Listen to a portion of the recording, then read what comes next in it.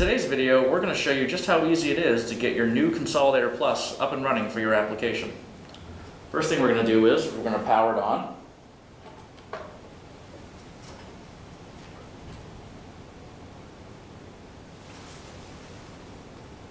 And the first thing you're going to see is that we have some pre-configured screens already cycling between each other. You'll see we have our screen for six pre-configured alarms. And the next screen you'll see is channels one through four, and these are your input channels. If you want to stop the scanning between the two, just hit the stop button. You'll see the left and right arrow keys here allow you to cycle through between the two pre-configured screens. We'll leave it on the channels one through four screen to show you that we already have four channels ready to go to accept an analog input. And we'll show you by plugging an analog input right to channel one, you'll see it's already ready to go. Now to change that to match our application, we're going to go ahead and go to the menu screen, hit setup, and go right to channel one.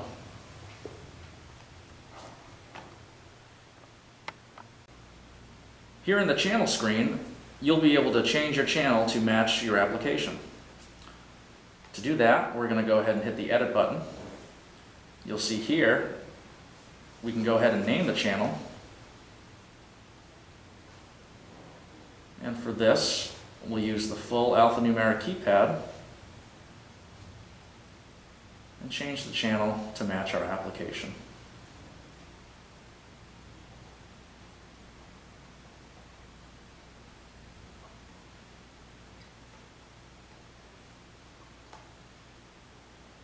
Pressing this button again will get you a full numeric keypad.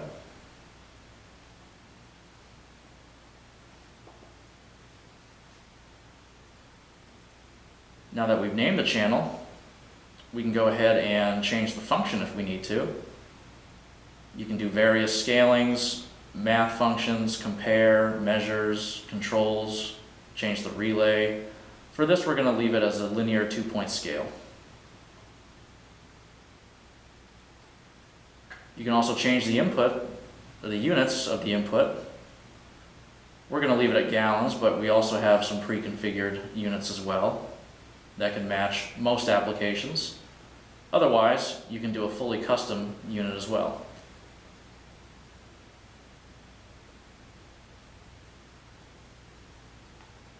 Here you can change the decimal point. Pressing the plus sign increases the decimal point number. Minus gets rid of the decimal point. We'll get rid of it for this. And here's where you actually do your two-point scaling. So at 4 milliamps, we're going to show 0 gallons. And at 20 milliamps, we're going to increase the number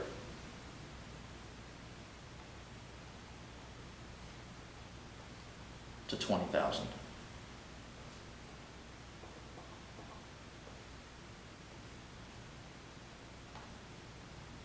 You can also set a cutoff if needed. Here's where you would select if you want a bar graph or not. We're going to leave it on for this demonstration. And you can change the scaling of the bar graph to match your input. Once that's set, we'll hit the Save button, and we'll move back out to the screen. You'll see here, channel 1 is now tank 1, still reading in gallons, but now reading from 0 to 20,000. And that's how you change a channel to match your application. Now that we've got our channel set up for our application, now we can go in and change our alarm set points. To do that, you go to the menu button, hit setup, and go down to alarms. We're going to change high alarm 1 for this demonstration. Here we have the high alarm 1 set for a single source and the input is the tank 1 channel that we just edited. Here you can have it sound a horn, automatic and acknowledge options, what you can do during a sensor break, and here's the set point. So we're going to change this to match our new setting.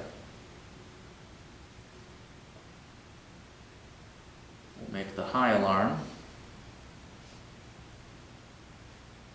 at fifteen thousand.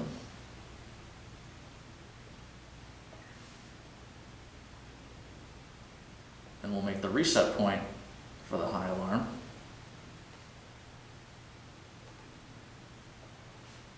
at ten thousand. And then we'll save it. Now there are two ways to view the alarms that we just set. First, on the channel screen, you'll see we've added a red line at the set point. So as you'll see channel one increase, once that bar graph hits the set point, it'll go into an alarm. And you'll see that line has now gone down the bar graph a bit to show where the reset point is. Once we get to that reset point, the line goes away and the alarm condition is clear. The other way to show the alarm is to go to our alarm screen here, and you'll see at the high alarm one, you can even see the set point and reset point, as well as the relay status. Going up, you'll see we're now in alarm, as alarm one is switched to on. And going back down, it's now in off because we are now clear of the alarm condition. Now that we've shown you how to edit a channel and edit an alarm, let's say we want to show both of those on their own separate screen. To do that, we're going to hit the menu button, hit the setup button, and scroll down to the screens menu. Here we're going to hit the new button. And now this is the new screen interface. First, we'll go ahead and name this screen.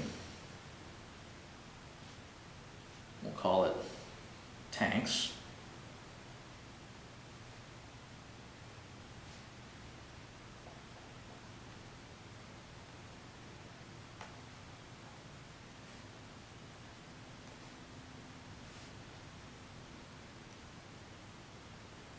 And now here is where we add all the resources for this screen that we want to show. First, we're going to show the channel we created earlier, which is tank 1. And then we're going to go over to the alarm section and add that high alarm that we added. Once that's done, there are some other options for this screen customization, like the title showing the channel number, bar graphs, if you only want bar graphs, as well as auto scan and dwell time. For now, we're going to leave that all as default and hit save. Moving back out, you'll see our newly created screen with the screen title, our tank 1 that we created, and the high alarm. In this screen you'll see we show the bar graph and by manipulating the input you'll see just like before the input go up, the alarm turns on, the red line shows our reset point and going back down you'll see the alarm go off. And that's how you create a customized screen for an input and the alarm associated with it.